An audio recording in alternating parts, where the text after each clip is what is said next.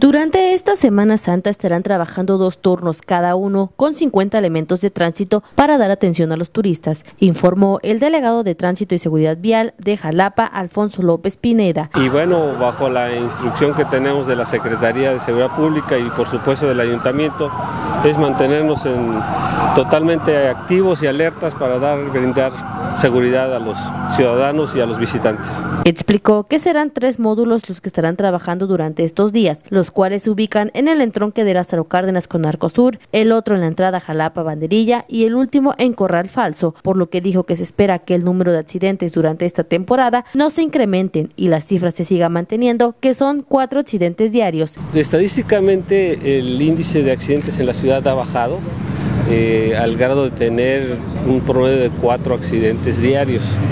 Anteriormente llegamos a tener hasta 8 o 10 eh, accidentes por día. ¿En, Semana Santa? No, no, no, en condiciones normales. Ah, Ahora, eh, para efectos de tiempo vacacional, la temporada que normalmente tiene mayor incidencia es diciembre. Sin embargo, en esta semana vacacional este, de Semana Santa, con, esperamos que sea, pues ojalá y pudiéramos decir este, cero accidentes, ¿verdad?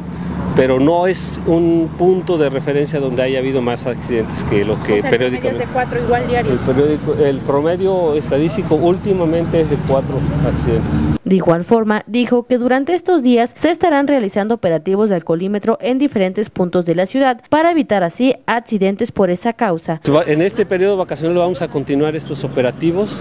Este fin de semana lo hicimos y como lo hicimos también en diciembre, eh, será aleatorio en cualquier punto de la ciudad y en cualquier horario.